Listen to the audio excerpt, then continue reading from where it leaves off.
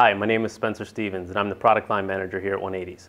Today I'm going to be talking to you about our Exolite Groove ear warmer. If you like to work out in the cold winter months and still listen to music, this is the product for you. We've teamed up with Sony to bring you a product that allows you to listen to your favorite tunes while you're working out and keep your ears warm at the same time. In this video, I'm going to show you step by step how to attach your Sony MP3 player to the Exolite Groove ear warmer.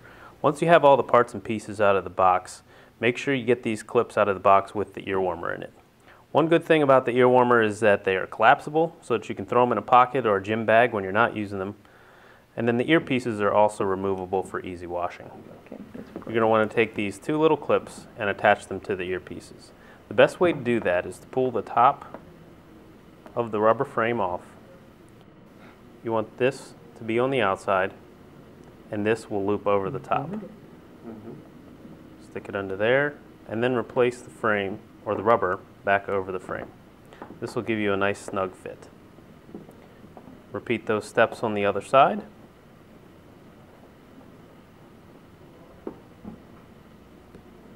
Hook it on top. Then attach the rubber back over the frame.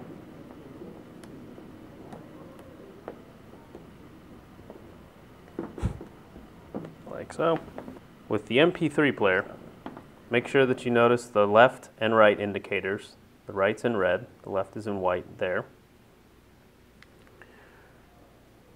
You want to take the right earbud, stick it through the hole in the earpiece, and you want to make sure you push it all the way through so that this is flush with the fabric.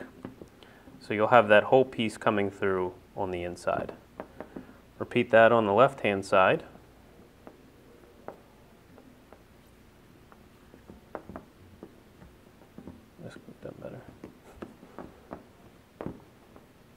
And then loop your wire through the clips up top. And now you are ready to go. Now that you've assembled your Exolite Groove ear warmer, you can crank your tunes and stay warm on your next winter workout. To find this and other exciting products from 180s, go visit us at 180s.com.